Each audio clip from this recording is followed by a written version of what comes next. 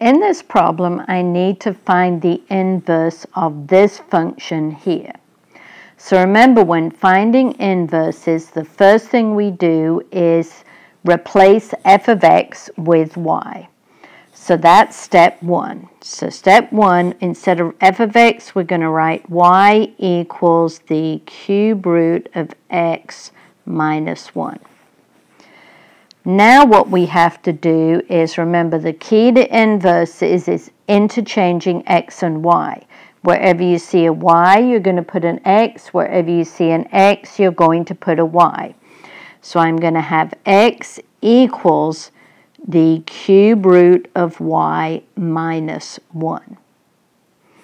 And now step 3, we need to solve for y because y will be our inverse. So somehow I've got to get y by itself. So the first thing I'm going to have to do is get the term involving the cube root by itself. I'm going to have to add 1 to both sides, and then I can deal with the cube root.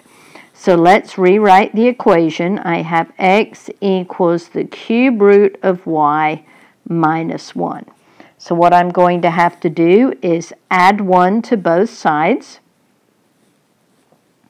So I'm going to get x plus 1 equals the cube root of y. So now I've isolated my y term. Now I've got to get rid of the cube root. So what we're going to do is we're going to cube both sides. So we're going to get x plus 1 all cubed equals. Now what are we going to get on the other side? What happens when you cube a cube root? Well, if you're not sure, remember the cube root is y to the 1 third power. And I'm going to raise that to the third power. Well, when you raise something with an exponent to another exponent, what do you do with these two exponents? You multiply them. So I'm going to get y raised to the 1 over 1, which is 1. So on my right-hand side, I'm going to get y.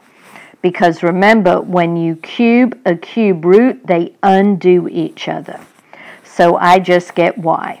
So remember, y is my inverse, and how are we going to write the inverse of the function f?